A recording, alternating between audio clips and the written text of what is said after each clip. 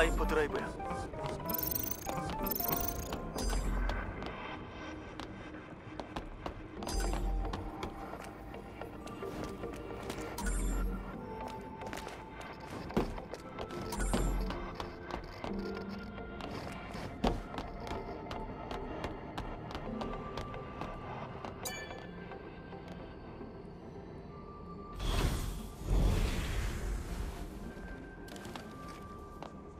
Hyper Cell의 보존 상태는 양호해.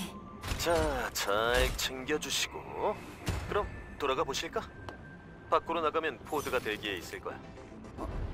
잠깐만. 이런 곳에 레거시가 Legacy? 그게 뭔데?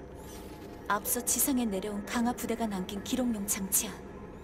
후속 부대를 위해 주요 정보를 남겨놓는 거지. 그런데 어째서 강화 부대가 여기까지 왔을까? 뭔가 알파나 Elder에 관한 단서가 있었던 게 아닐까요? Legacy를 확인해 볼게.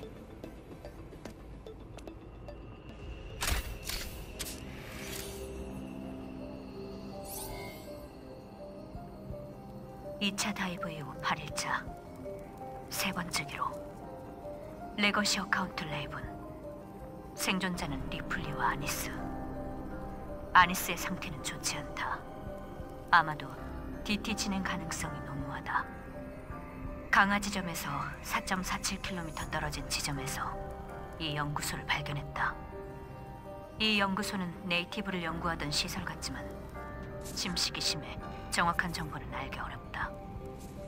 그런데 이곳의 데이터를 살피다가 놀라운 사실을 발견했다. 우리가 알고 있는 최후의 전쟁 이전에 또 다른 전쟁이 있었다. 바로 인류와 인류가 만든 안드로이드.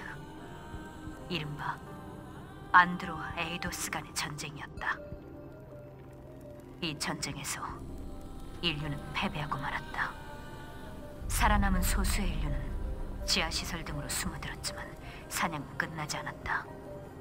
인류의 멸망도 코앞이라 생각되던 찰나 변수가 나타났다. 근원을 알 수 없는 곳에서 이른바 우리가 네이티브라고 부르는 괴 생명체들이 나타난 것이다. 호전적인 네이티브와의 전쟁으로 안드로이드들은 파국을 맞이했고 아마도 그 사이 인류는 콜로니로 도망칠 수 있었던 것으로 보인다. 이제 난 네이티브의 기원을 조사해보려 한다. 그 출발선에 엘더 네이티브가 있을 테니까. 이 영상을 보고 있을 당신에게 마더스피어의 축복이 있기를.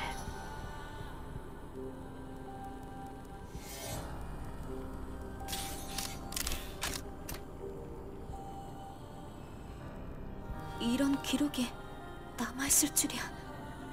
그런데 최후의 전쟁 전에 또 한 번의 대규모 전쟁이 있었다니 콜로니에선 듣지 못한 이야기들이네요.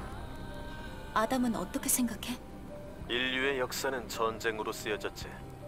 최후의 전쟁 이전에 몇 번의 전쟁이 있었다고 해도 이상할 건 없어. 그렇다고 해도 전혀 전승되지 않았다는 건 이상해. 일단 레거시를 회수해 돌아갈게. 잠시만 기다려. 테트라포드로 데리러 갈 테니까.